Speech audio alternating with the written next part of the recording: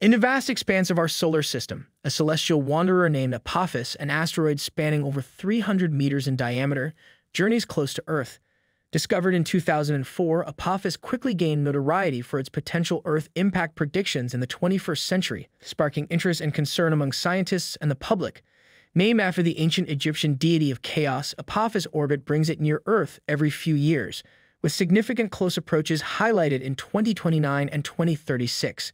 These encounters provide unique opportunities for astronomers to study an asteroid up close, enhancing our understanding of these ancient space rocks. As we continue to track its path with advanced telescopes and space missions, Apophis serves as a reminder of our dynamic universe. It underscores the importance of monitoring near-Earth objects and advancing our preparedness for potential asteroid impact threats. Through the lens of science, Apophis transforms from a harbinger of potential doom to a fascinating object of study, offering insights into the origins and dynamics of our solar system.